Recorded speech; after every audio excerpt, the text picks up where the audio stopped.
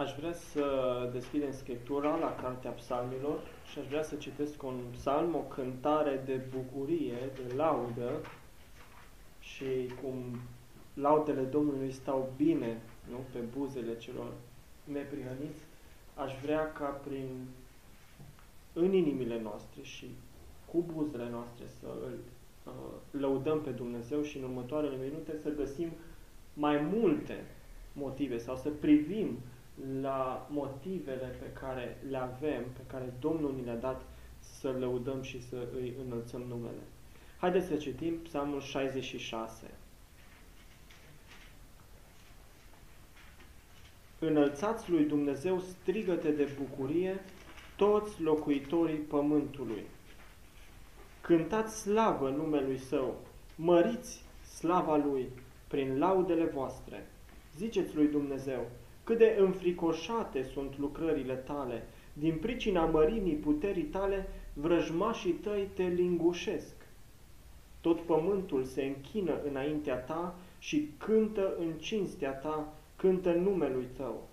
Veniți și priviți lucrările lui Dumnezeu, ce înfricoșat este El când lucrează asupra fiilor oamenilor. El a prefăcut marea în pământ uscat și râul a fost trecut cu piciorul.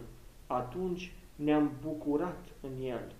El stăpânește pe vecie, prin puterea Lui. Ochii Lui urmăresc pe neamuri, ca cei răzvrătiți să nu se mai scoale împotriva Lui. Binecuvântați, popoare, pe Dumnezeul nostru, faceți să răsune lauda Lui. El ne-a păstrat sufletul cu viață și n-a îngăduit să ni se clatine piciorul. Căci Tu ne-ai încercat, Dumnezeule, ne-ai trecut prin cuptorul cu foc ca argintul, ne-ai adus în laț și ne-ai pus o grea povară pe coapse. Ai lăsat pe oameni să încalece pe capetele noastre, am trecut prin foc și prin apă, dar Tu ne-ai scos și ne-ai dat belșug. De aceea voi merge în casa Ta cu arderi de tot, îmi voi împlini juruințele făcute Ție, juruințe care mi-au ieșit de pe buze, pe care mi le-a rostit gura când eram la strâmtoare. Îți voi aduce oi grase ca ardere de tot, cu grăsimea berbecilor voi jertfi oi împreună cu țapi. Veniți de ascultați toți cei ce vă temeți de Dumnezeu și voi istorisi ce a făcut El sufletului meu. Am strigat către El cu gura mea și îndată lauda a fost pe limba mea.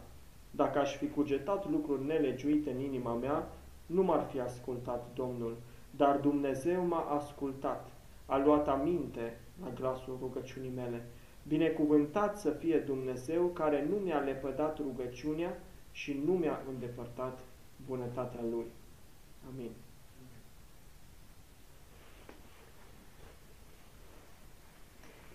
Nu știu de câte ori ne-am gândit cât de vrednic de laudă este Dumnezeul nostru. Pentru, în primul rând, pentru suveranitatea Lui. Trebuie ca să-L lăudăm, să-L înălțăm. Este de datoria noastră, a poporului lui Dumnezeu, a celor ce sunt ai Lui, ai adunării Lui, să-L laude și să-L prezinte așa cum este înaintea lumii. Psalmistul spunea, plin de bucurie, că își va împlini juruințele și va veni cu jertfe în casa lui Dumnezeu. În Noul Testament nu mai avem acele jertfe de sânge, fiindcă Hristos este împlinirea lor. Însă a putem să aducem o jertfă înaintea Domnului lauda buzelor voastre. Venim înaintea lui Dumnezeu de multe ori și avem atât de multe cereri.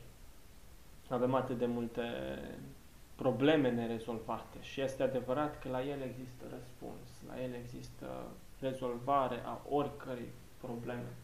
Uh, la el există și el dă acea uh, lumină de la capătul tunelului. El este Cel care ne trece și ne scoate biruitori din mijlocul oricărei încercări. Suntem pe pământul acesta. Există fel și fel de necazuri cu care uh, ne confruntăm, fel și fel de situații dificile. Și e bine să le aducem pe toate înaintea lui Dumnezeu. De ce? Fiindcă El este stăpân peste toate, nu întâmpinăm nicio situație, niciuna, în viața noastră de zi cu zi, fără știrea Lui, fără ca Domnul să ne-o fi trimis sau fără ca Domnul să o fi îngăduit. Și trebuie să le aducem toate înaintea Lui. Atunci când venim cu rugăciune de cere înaintea Lui Dumnezeu, arătăm ceva. Ar trebui să ne spune ceva lucrul acesta. Știți ce? Faptul că îl recunoaștem pe El ca Dumnezeul care poate să rezolve problemele. Ca Dumnezeul care poartă de grijă așa cum l-a recunoscut uh, Avram ca uh, Dumnezeu care poartă de grijă, Jehova Ire. Ei bine, uh, în viața noastră, întâlnind tot felul de situații și tot felul de nevoi și probleme și decizii pe care trebuie să le luăm, haideți să le aducem înaintea lui Dumnezeu. Haideți să căutăm ca El să fie cinstit, ca El să fie onorat prin tot ceea ce facem. Și în mijlocul nevoilor, în mijlocul încercărilor, în mijlocul oricărui fel de criză. Să putem să spunem și noi ca psalmistul în uh,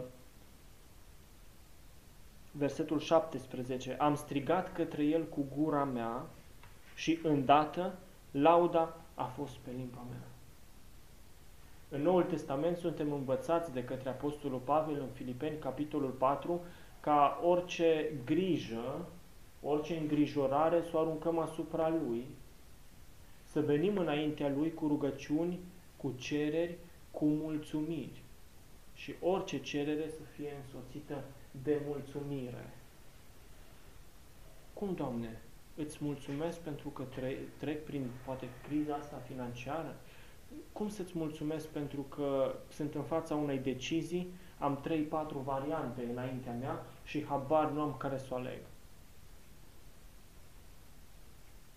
În rugăciune arătăm recunoașterea noastră că El este stăpân, El este uh, cel care controlează fiecare circunstanță, fiecare eveniment. Vedeți, în rugăciune nu venim înaintea Lui pentru a-i aduce la cunoștință problema noastră. În rugăciune venim înaintea Lui, adresându-i cererile noastre, recunoscându-L pe El ca stăpân peste creația sa, peste viețile noastre, recunoscându-ne insuficiența sau incapacitatea de a ne rezolva noi problemele și faptul că recunoaștem că El poate să ne le rezolve. Înțelegând lucrurile acestea, rugăciunea ne face bine. Spune uh, psalmistul și acum încep cu sfârșitul, fiind vorba despre rugăciune și apoi vreau să merg în prima parte a psalmului. Uh, cred că v-ați dat seama deja că nu vreau să uh, vorbesc astăzi așa uh, expozitiv, ci vreau să avem câteva îndemnuri. Îndemnuri care pentru mine au fost o binecuvântare când le-am citit și pe care vreau să le împărtășesc și cu voi. Cât de măreț este Dumnezeu nostru. Psalmistul își amintește de lucrările minunate pe care Dumnezeu le-a făcut în poporul său și spune, El a prefăcut marea în pământ, uh, râul a fost trecut cu piciorul, amintind de uh, pelerinajul, de ieșirea din Egipt și pelerinajul și intrarea în țara promisă, evenimente despre care se vorbea și se tot vorbea în Israel. Grozav Dumnezeu avem, este același Dumnezeu. În timpurile noastre, în epoca noastră, Dumnezeu a lucrat în mod grozav în și prin bisericile sale. Le-a dat promisiuni pe care putem să stăm și de care să fim siguri în privința faptului că nimic nu va putea zdrobi, nimic nu va putea înfrânge adunarea, biserica lui. Nimic de pe lumea aceasta. Chiar căpeteniile forților uh, lui Satan, toate îndreptate împotriva bisericii, vor rămâne de rușine, vor fi înfrânte, fiindcă El este alături de poporul său. Dar psalmistul nu se oprește doar la aceste uh, situații din trecut.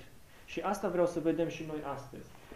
Citind istoria, uh, um, citind uh, lucrurile pe care Dumnezeu le-a făcut și modul în care El, în mod suveran, a intervenit în istorie, uh, sufletul nostru ar trebui să tresalte de bucurie și să știm că Dumnezeul nostru este mai presus de orice om, este mai presus de orice uh, autoritate omenească și spirituală. Vedem, așa cum spune psalmistul, modul minunat în care Dumnezeu și-a păstrat poporul de-a lungul timpului. Uh, și lucrul acesta trebuie să ne îndemne spre laudă. Chiar cântam mai devreme, o laudă mai înfocată. Uh, și asta ar trebui să fie rugăciunea noastră ca Domnul să ne trezească, să ne sensibilizeze inima la acest lucru. Își amintește psalmistul modul în care Dumnezeu a lucrat când spune de lucrurile, de încercările prin, pe care Dumnezeu le-a îngăduit uh, ca ei să le întâmpine. Și asemenea argintarului, care își curățește argintul prin foc, Dumnezeu a lăsat focul încercării să își curețe poporul. Și asta găsim în uh, uh versetul uh, 10, în versetele 10, 11 și 12, când spune Căci tu ne-ai încercat, Dumnezeule, ne-ai trecut prin cuptorul cu foc ca argintul. Știm cu toții care era scopul uh, topirii argintului și menținerii lui la o temperatură foarte ridicată. Pentru ca impuritățile să iasă la suprafață și să fie eliminate. Pentru ca argintul să fie cât mai pur, de o calitate cât mai bună. Versetul 11 spune, ne-ai pus în laț și ne-ai pus o grea povară pe coapse. Dumnezeu își încearcă poporul, dar și încearcă cu un scop. Permite anumite încercări Tocmai ideea aceasta de laț, ideea de restrângere a libertății,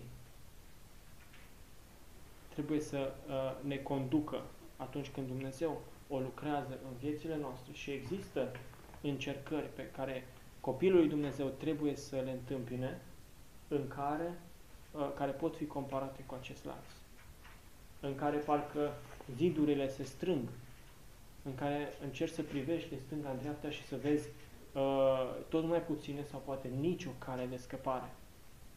Și când singura privire, singura uh, direcție în care poți să privești este în sus. Și Dumnezeu își aduce copiii în astfel de situații tocmai pentru a înțelege că El este singura scăpare, că Lui îi se cuvine totul, toate lauda, tot meritul. Amintește psalmistul în continuare și spune, ai lăsat pe oameni să încalece pe capetele noastre. Ne-au călcat pe cap. Ne-au zdrobit. Ne-au trântit la pământ. Autorul nu îi reproșează Domnului. Cum ai putut să ne lași să ne umilească oamenii atât? Cum ai putut să ne lași singuri? Nu ți-ai dat seama că noi te reprezentăm pe tine? Ce au spus oamenii despre noi atunci când am căzut la pământ, atunci când am fost îngenunchiați? Nu, nu. Privind în urmă, psalmistul îl lăuda pe Domnul. A lăsat pe oameni să încalece pe capetele noastre. Am trecut prin foc. Am trecut prin apă. Dar Tu ne-ai scos și ne-ai dat belșug. care este copilul lui Dumnezeu, care este acela care a trăit, l-a experimentat pe Dumnezeu, l-a gustat pe El și nu poate, în urma oricărei încercări, se spune la fel, Doamne, îți mulțumesc că am trecut prin acea încercare. Oricât de greu era atunci, îți mulțumesc. De ce? Că Tu m-ai scos, că Tu mi-ai arătat puterea Ta, că Tu mi-ai arătat că îți pasă de mine. Există un scop al lui Dumnezeu în încercări. Există un scop al lui Dumnezeu primordial în tot ceea ce face El. Și știți care este acesta? Ca oamenii să îl glorifice, să laude. Tot ceea ce face Dumnezeu în providența Lui, în uh, generală, în providența Lui specială față de poporul Său, arată că Lui îi se cuvine lauda, că El are meritul. În mijlocul încercării, în mijlocul nevoilor, Psalmistul spune, am venit înaintea ta, am strigat către tine și imediat lauda a fost pe buzele mele. Bucuria eliberării, bucuria uh, biruinței în încercare este atât de mare încât nu poate să uh, nu poate să fie uh, astupată, nu poate să fie ținută în secret. Spune mai departe psalmistul, veniți de ascultați toți cei ce vă temeți de Dumnezeu și voi istorisi ce a făcut El sufletului meu. Aici nu mai vorbește despre uh, lucrarea generală a lui Dumnezeu cu poporul său. Nu mai vorbește despre trecerea Mării Roșii, despre trecerea Iordanului. Spune, ce a făcut El sufletului meu. Copilul lui Dumnezeu îl experimentează pe Dumnezeu. Trăiește cu Dumnezeu. Este învățat de Dumnezeu. Viața lui este una cu adevărat de umblare cu Dumnezeu. Și Dumnezeu îi lucrează. Aici nu e vorba de teorie. E vorba de a gusta. A gusta pe Dumnezeu. Veniți și vă voi istorisi ce a făcut El sufletului meu.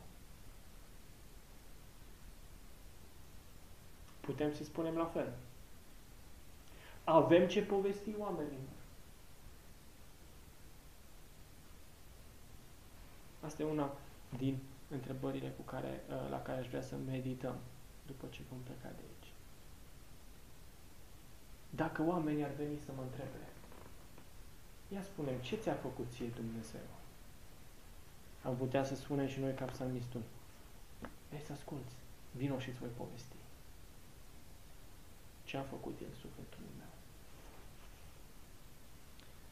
Și uh, despre ce avea psalmistul de povestit? Spune, am strigat către el. Cu gura mea și îndată lauda a fost pe limba mea. Despre rugăciunile ascultate. Despre experimentarea Domnului. Versetul 18 este un avertisment. Uh, de fapt, uh, ar trebui să fie luat ca un avertisment. De ce? Fiindcă Domnul nu ascultă orice rugăciune. Psalmistul spune, vino și, vă voi, vino și îți voi vorbi despre felul în care Dumnezeu mi-a ascultat rugăciunea și m-a izbăvit din încercare. Și în versetul 18 spune, dacă aș fi cugetat lucruri nelegiuite în inima mea, nu m-ar fi ascultat Domnul.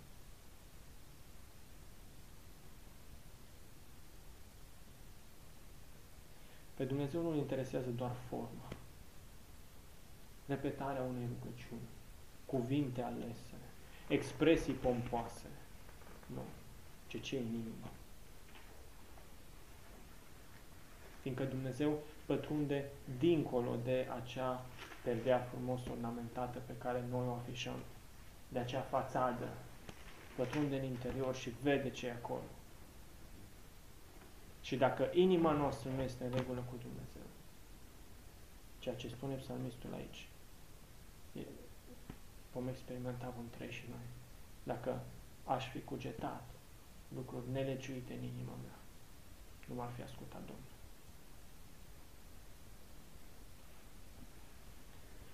Există situații în care Dumnezeu nu ascultă rugăciunile, chiar a copiilor săi. Dumnezeu nu este obligat să asculte rugăciunile noastre. Mai sunt unii care au ideea că uh, credința noastră îl obligă pe Dumnezeu la răspuns. Cea mai mare prostie. Dumnezeu nu este obligat de nimic. Dumnezeu nu este un reacționar. Și să nu credem că uh, credința sau rugăciunea rostită prin credință ne aduce merit înaintea lui Dumnezeu. Să nu credem că dacă credința noastră a fost mare, uh, cumva dacă Dumnezeu nu ne ascultă, îl facem de rușine. Este un mod uh, corupt, pervers de a înțelege rugăciunea prin credință. Știți că sunt aceia care spun uh, că, um, eu știu, roagă-te pentru orice lucru prin credință și Dumnezeu este obligat să te asculte. Cere orice și îți va da. Nu, nu, nu.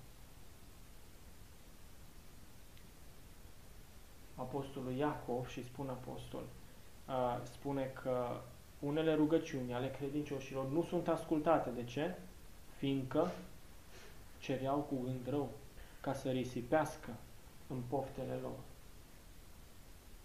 Și aici vreau să vorbesc puțin despre rugăciune. Ce înseamnă rugăciunea? De ce ne rugăm? Bineînțeles, e un subiect amplu și nu putem să-l discutăm acum. Vreau doar să trag puține câteva semnale de alarmă, să, arătăm, să arăt câteva puncte. De ce ne rugăm? Și ce trebuie să ne rugăm?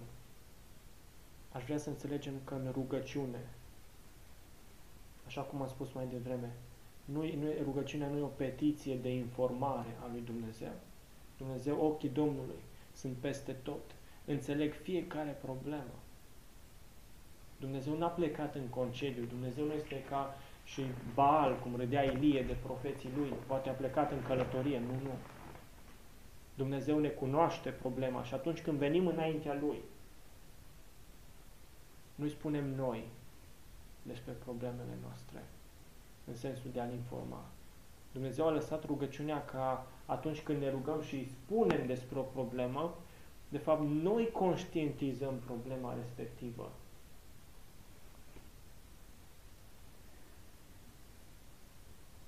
Noi înțelegem, noi o înțelegem. Noi înțelegem că există o nevoie, că există o situație care, pe care nu o putem realiza și că o aducem înaintea Lui. În rugăciune înțelegem că El este atotputernic, că El este stăpânul. Bine, despre ce trebuie să ne rugăm? Sau ce trebuie să cerem? Ca principiu general, Domnul Isus își învață ucenicii și spune, puteți să cereți orice în numele meu și vi se va da. De ce? Pentru meritele Domnului. Ce înseamnă asta? Haideți să ne rugăm cu toții ca să ne facă Domnul milionari în euro. Poate să fie inclus asta în orice? Păi este și un lucru, între multe. Scriptura ne învață uh, anumite principii în rugăciune. Ce? Și începând, încep de la psalmul pe care am citat, dacă aș fi cugetat lucruri nelegiuite, nu m-ar fi ascultat Domnul. Iacov spune, așa cum am citat, nu aveți fiindcă nu cereți sau cereți cu gând rău. În rugăciunea noastră noi ar trebui să cerem lucrurile acelea care îl cinstesc, care îl onorează pe Dumnezeu, care, uh, de care avem nevoie pentru slujirea altora sau cu gândul de a fi slujitori mai bune ai Domnului și ai adunării sale. Atunci rugăciunile noastre sunt ascultate atunci arătăm atitudinea potrivită înaintea lui Dumnezeu. Și Pavel voia să fie vindecat și sunt sigur că uh, se gândea că în felul acesta poate să-l, să slujească mai bine pe Dumnezeu. Să facă mai multe. Și cu toate astea Domnul spune, nu, harul meu îți este de ajuns. De ce? Cu cât este mai mare neputința umană, cu atât se vede mai bine puterea lui Dumnezeu. Harul meu îți este de ajuns. Să ne ajute Dumnezeu să-L putem lăuda în necaz, în nevoie, în slăbiciune și să înțelegem principiul acesta, că Harul Lui este de ajuns și că, indiferent cât ne dă, ne dă mai mult decât merităm, în orice aspect, în orice domeniu al vieții noastre. Ne dă mai mult decât merităm și ne dă cu un scop, fiindcă lucrarea lui Dumnezeu este specifică și urmărește ceva. Ne dă cu un scop. Ni s-a încredințat ceva, fie că e vorba de un timp, de timpul pe care ne este dat să-l trăim, în general și în mod specific, într-o anumită localitate, în întâlnirea cu cineva. Ne este dat un anumit timp. Mi se deschide o ușă care se va închide. Da, Dumnezeu ne-a dat un anumit timp în administrație. Cum îl folosim? Cum îl administrăm? Dumnezeu ne-a dat o anumită măsură de sănătate. Nu sunt necunoscute problemele noastre de sănătate. Ne-a dat-o cu un scop. Putea să ne facă mai sănătoși. Putea. Nu l-a făcut-o. L-a făcut-o cu scop. De ce? Fiindcă lucrarea la care ne-a chemat, ușa pe care ne-a deschis-o, este suficientă. Și puterea care ne-a dat-o, sau sănătatea care ne-a dat-o, este suficientă pentru a intra prin ușa respectivă, pentru a face lucrarea la care ne-a chemat. Dumnezeu ne-a dat o anumită cantitate, ca să spun așa, de bani, o anumită putere financiară, chiar dacă e micuță. De ce? Ca să-L slujim pe El, ca să-L onorăm pe El. Da, putea Dumnezeu să ne facă milionari, la El ar fi fost tot una. Nu era prea greu. De ce nu ne-a făcut? De ce poate finanțele sunt pe zero? Dumnezeu știe. Înseamnă că um, ușa pe care ne-a deschis-o, lucrarea la care ne-a, ne chemat, poate să fie făcută și cu bani puțini. Poate să fie făcută cu atât cât avem.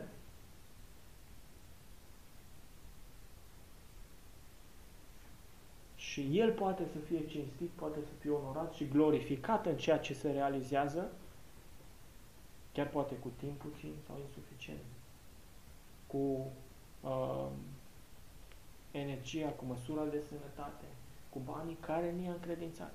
Am dat doar trei exemple, sunt trei uh, uh, domenii destul de largi în viața noastră, cele pe care le-am menționat. Sunt multe altele însă. Când venim înaintea Lui, trebuie în primul rând să venim cu mulțumire. Și cererile noastre să fie însoțite de mulțumire și de laudă. Vedeți? Asta înseamnă credința. Încrederea că El ne va purta de grijă. Că ne va da atât cât avem voie, atunci când avem nevoie. Nu-L cumpărăm, nu-L mituim pe Dumnezeu prin rugăciunile noastre, nu-L obligăm prin credința noastră, ci arătăm că înțelegem că noi suntem doar niște vase în mâna Lui.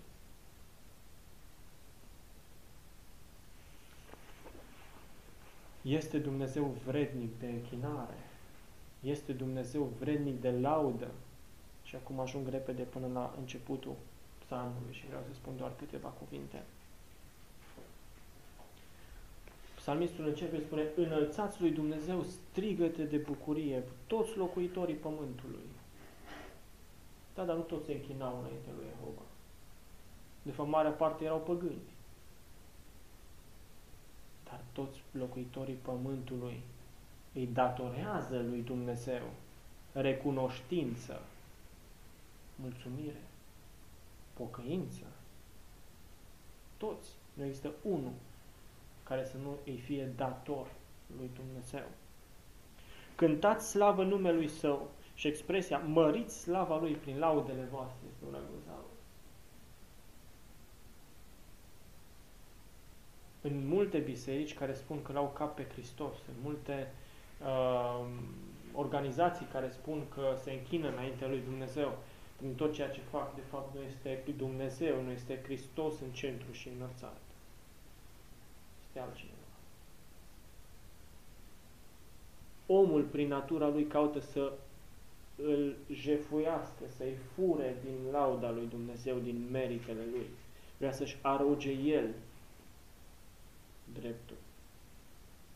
Vrea el să fie înălțat. În poporul Domnului nu trebuie să fie așa.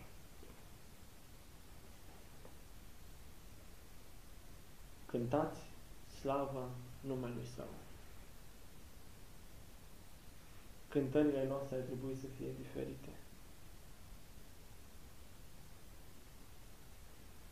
De ce? Trebuie să fie din inimă. Sunt mulți care se închină înaintea lui Dumnezeu cu buzele. Sunt mulți cei care se ridică și spun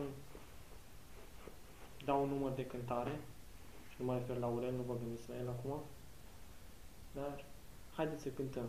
Și adunarea cântă și spun amin și se încadrează perfect pe aceeași treaptă cu izraeliții din Vechiul Testament, despre care Domnul spune că poporul îl cinstește cu buzele, dar cu inima e departe de el. Dumnezeu nostru este vrednic de laudă. Nimeni în lume nu este ca El, nimeni nu face așa lucrări. Haideți să experimentăm, să gustăm, să umblăm cu El să putem spune, veniți, ascultați ce a spus El, ce a făcut El sufletului meu. Veniți ce vă voi povesti. Am ce să vă spun. Lui îi se cuvine lauda. Da, m-am rugat la El în mijlocul încercării mele. Când nimeni altul nu mă putea ajuta, Dumnezeu m-a scos biruitor. Când oamenii poate mă așteptau sfârșitul sau râdeau de mine, mă considerau un înfrânt, Dumnezeu m-a scos biruitor. Se vorbea mai devreme despre biserica din Filadelfia. Și Domnul le promite, îi voi face pe aceia mincinoși, cei din sinagoga satanei, care zic că sunt iudei și nu sunt. Și vor veni și ți se vor pleca la picioare. Vor ști că te-am iubit. Da, chiar dacă aveai puțină putere, poate ei râdeau, poate erau puternici, poate îți așteptau sfârșitul. Nu, ei vor fi cei umiliți. Dumnezeu lucrează și lucrările Lui sunt puternice și sunt vrednice de laudă. Copiii Lui, adunarea Lui, trebuie să-L laude, să-L cinstească, să mărească lauda Lui, să, să-L arate lumea așa cum este. Da, știu, cele mai multe biserici care își spun Biserica lui Hristos arată un Hristos cerșetor, arată un Hristos incapabil să mântuiască, arată un Dumnezeu asemenea lor și le înalță pe om în loc de Dumnezeu. Haideți să-i recunoaștem puterea. Haideți să-i cântăm, să arătăm gloria Lui prin ceea ce vestim, prin ceea ce ne rugăm, prin ceea ce cântăm, prin ceea ce trăim să înălțăm pe Domnul nostru, să mărim înaintea oamenilor gloria Lui prin laudele noastre. Dumnezeu să ne ajute la lucrul acesta în viețile noastre personale și în întâlnirile noastre. Amin.